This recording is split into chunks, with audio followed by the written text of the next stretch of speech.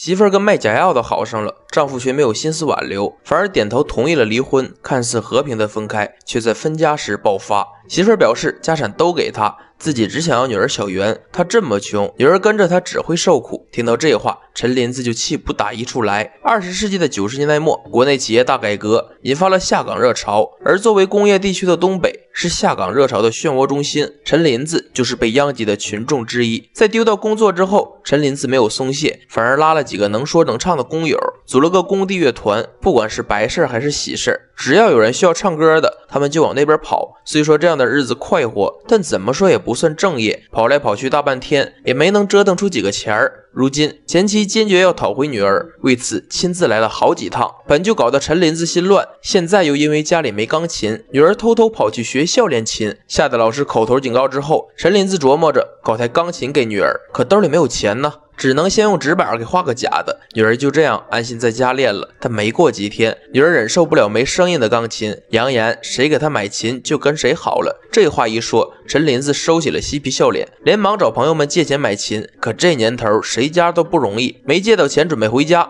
却又发现挂在自行车的肉被偷走了。这一系列操作下来，弄得陈林子郁闷极了。好在女友淑芬仗义，给他拿了一千块钱。但即便如此，离能买钢琴的还差老大一截了。没办法。陈林子脑子一转，领着几个工友跑到学校，盘算着偷走里面的钢琴。不料半途保安杀出，几个人心一慌，乱跑，全被逮个正着。还好学校没有追究，只要他们物归原位，等钢琴搬回音乐室，工友们开始好奇，眼前的钢琴到底有什么独特之处，能让它卖这么贵？想不出来的众人对钢琴又摸又敲。这时，陈林子突然想到一个好点子，既然买不得、偷不得，我们就自己来造一个。说干就干，他们先是跑去图书馆借了本制造钢琴的书，可这是本俄文书，陈林子看不懂。又找到厂里退休的老工程师老胡，老胡是流苏的海归，翻译俄文就像喝水一样简单。为了求人帮助，陈林子还特意拿炮炸了几条鱼，兜起来做谢礼。老胡没有拒绝，当即就答应了他。现在技术有了着落。就差做钢琴的材料了。陈林子没敢歇停，立马又找了几个手活好的工友，以及靠挖铁发家的虎哥借了他。制造钢琴项目正式启动。在开工前，陈林子特意点了几个炮，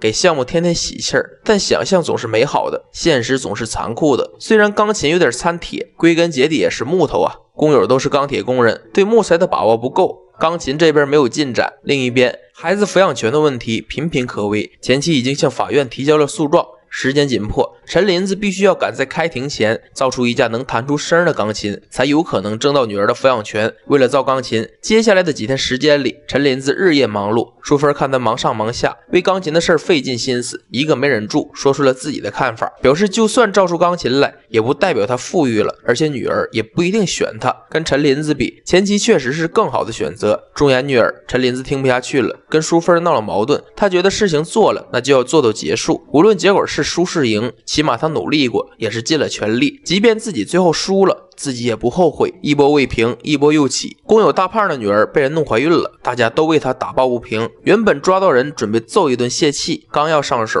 却又突然于心不忍，把人都给放走了。生活还要继续，造琴还在进行，大家齐心合力，按照老胡提供的图纸严格进行。几天努力下来，钢琴雏形出了，零零散散的小部件也都齐全。现在距离造出钢琴就只差最后的组装了。可天有阴晴圆缺，完美的事情背后总有一丝缺陷，因为每天为大家做饭，淑芬跟工友老杨走得有一些近了，甚至比她这个男友还要亲密。陈林子见后气不过，把人摁在地上一顿揍。俗话说，祸不单行啊。前脚刚揍完老杨，后脚老纪就遭人举报，在工厂被人给带走了。接连发生的糟心事儿，加上淑芬的心里话，让陈林子有些丧气。是啊，造琴造出来又能怎么样呢？女儿跟着前妻过更幸福，法院怎么可能判给他呢？失魂落魄的他告诉几位，钢琴不造了，大家散了吧。随着这句话的落声，工厂的最后两根大烟囱也被炸没。亲眼目睹这一瞬间，陈林子恍然意识到，时代一直在改变发展，曾经视为珍宝的宝物，也会随着时间的逝去，逐渐流失它原本的价值。就像他们热爱的工厂，早已经因为时代的变迁，彻底成为废墟，被淹没。尽管他们努力挽回，最终也会因为时间离去。与此同时，老爷子也突然没了气儿。时间在无声催促，陈林子不想留下遗憾。他再次召集几位工友，决心完成接下来的组装步骤。